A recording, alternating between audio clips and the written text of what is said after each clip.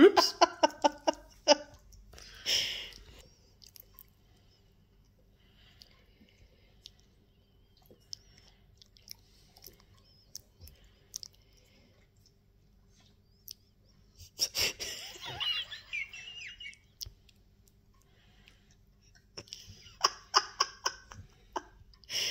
Wie kann man nur so zucken im Schlaf?